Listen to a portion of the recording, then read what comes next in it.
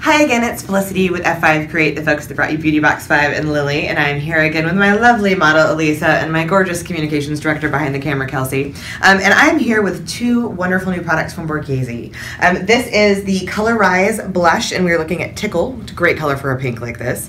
And then Elisa already has on the Color Eclipse Lip Color. Um, this is called, let's see here, this is Verge. Um, and what we love about Verge is it's a perfect kind of like almost bricky red color. The color payoff's great too. So you can go from almost a glossy finish like this to a full coverage with just one product. Um, but I'm going to show you guys the lovely payoff of this little guy right here. Um, we are going to get a big, fluffy, wonderful blush brush. This is from one of my favorite brands, Mirabella. Um, I wish they were here today. So Mirabella, I love you. Come to ECRM. Um, so tap off a little bit extra color.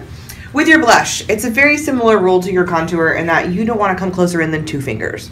So we're going to start out here, and it's going to go in between your contour and your highlight.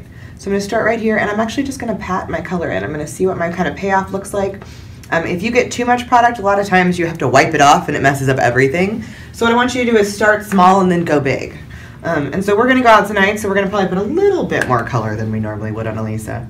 Um, I know, right? Gotta go big. And plus, that looks great with her lip, too. I mean, tickle, it's a perfect little payoff. So then we're going to do the other cheek. And again, right in between that highlight and right above that contour, um, get that color right there. Voila. And there we go. Super easy, super pretty. Borghese.